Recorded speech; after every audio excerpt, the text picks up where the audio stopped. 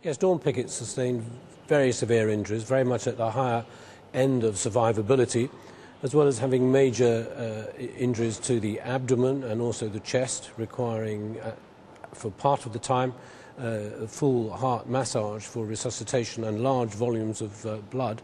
She also sustained uh, complex skeletal injuries involving all four limbs.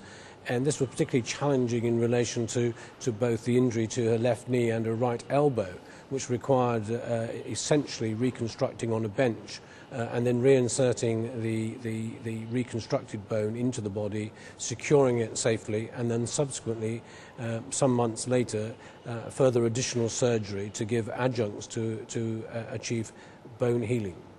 Some of these are very much pioneering techniques and, and uh, some uh, bespoke solutions for her own complex problems.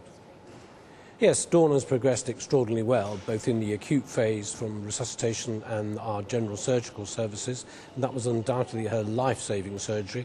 From the point of view of her, her limbs, she's actually gained excellent functional uh, outcome from these complex injury. She did have a devastating injury to one of her joints, which ultimately will need a joint replacement.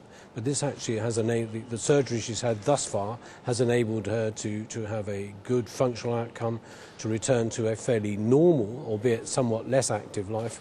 And as we know also, uh, she now has uh, twins and she's able to manage uh, uh them well. And also that has fulfilled, I think, uh, uh, one of her dreams in her life.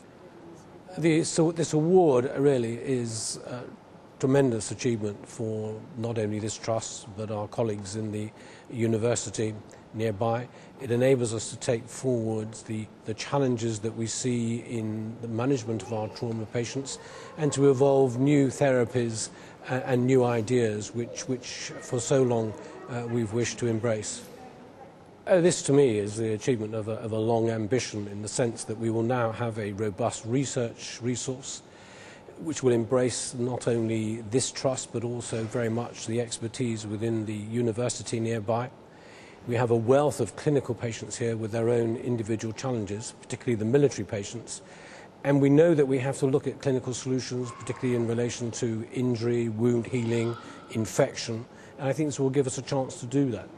Not only will we be doing uh, clinical research, we will also have the chance to do a lot of lab-based research and therefore develop ideas right from the beginning, right the way through to implementation. And at the end of this, influence positively clinical outcome.